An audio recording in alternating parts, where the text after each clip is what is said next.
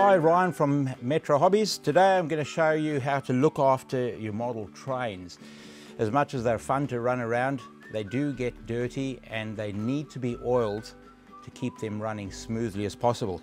Generally, oiling just moving parts, axles and such the like underneath them, and whether they're an old train like that or a nice shiny new locomotive like this little guy, they need to be lubricated to keep them running at their best.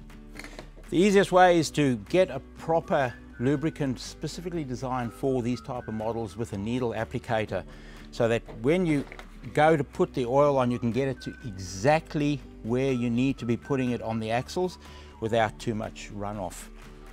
With locomotives a little bit more care must be taken in their lubrication because they have a lot of moving parts down the bottom, all your push rods and valve guides and everything that need to be lubricated as well. But don't put too much oil onto them because dust will stick onto them and dust unfortunately does wick a lot of oil away from the moving parts.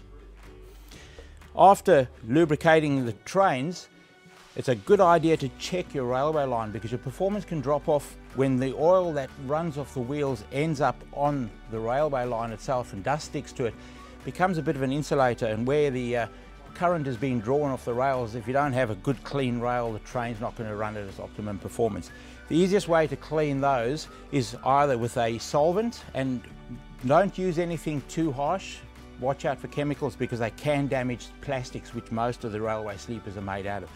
So methylated spirits works very, very well or a commercially available solvent for specifically designed for model railway will do the job as well.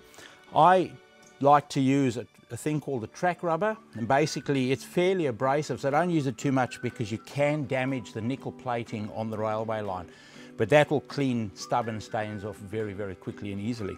Another idea too is just check all your rolling stock because rolling stock needs to be lubricated as well and if the wheels are very very heavy then your poor little locomotives are going to be battling to pull them along.